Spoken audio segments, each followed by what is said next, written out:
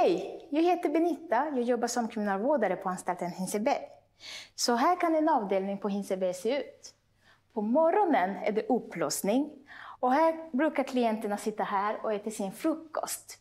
Och efter frukosten går klienten till sin sysselsättning. Vi har en del som går till jobbet, och andra som går till skolan och andra som går till behandlingsprogram. Här borta har vi köksdelen och här kan det stå två klienter och laga mat. Och efter sysselsättningen kommer klienterna tillbaka och de sitter här i soffan och umgås med varandra medan de tittar på TV. De andra brukar sitta här och spela kort. Vi har en del som ringer sina anhöriga medan de andra får besök av anhöriga. Och besöket sker inte här utan de får gå ner till besöksrummet. På den här avdelningen kan det vistas upp till 17 klienter. Och förutom att de sitter här och umgås med varandra, klienterna kan välja att gå till bibliotek eller så kan de välja att gå och träna i sporthallen. Så här kan en dag se ut på anstalten Hinseberg på den här avdelningen.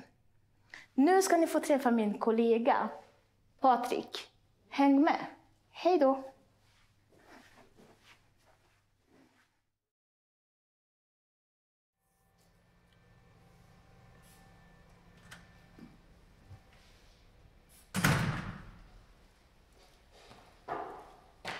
Hejsan! Patrik heter jag, och jobbar som produktionsledare här på kvinnoanstalten Hinseberg.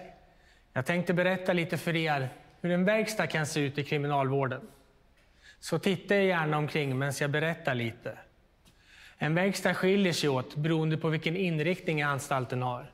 Det kan vara allt från monteringsarbete, tvätteri, jordbruk, snickeri.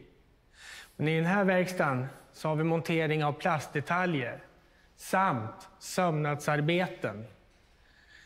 Vi tillverkar bland annat den här kudden som heter filuren som finns i besöksrummen på anstalter. Samt nyckelringen som barn kan få när de kommer på besök i anstalt. Sysselsättning är en viktig del för våra klienter. Det ökar kunskap, stärker självförtroendet, öppnar för ett liv utan kriminalitet samt möjligheten att få jobb den dagen de släpps ut. Men nu ska jag kolla till produktionen här, så nu tackar jag för mig. Hej! Hej, går det bra?